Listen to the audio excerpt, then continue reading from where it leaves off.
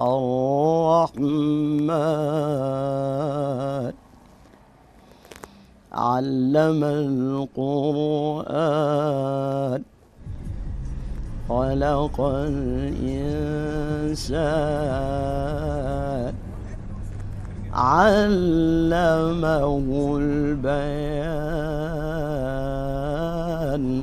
ولدت في بيت الحمد لله الحمد لله رب العالمين بيت مصلي وبيت عارف ربه الحمد لله رب العالمين. وكان والدي نعم ال- الأب المثالي والأخ والصديق بأنه هو تعاون معنا على حفظ القرآن.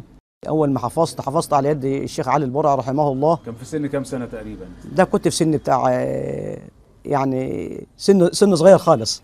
ما تتصوروش يعني كنت لسه ما فيش في سن المراهقه طيب بعد ما ختمت القرآن بقى يا ستنا بتقري فين؟ في البلد. مم.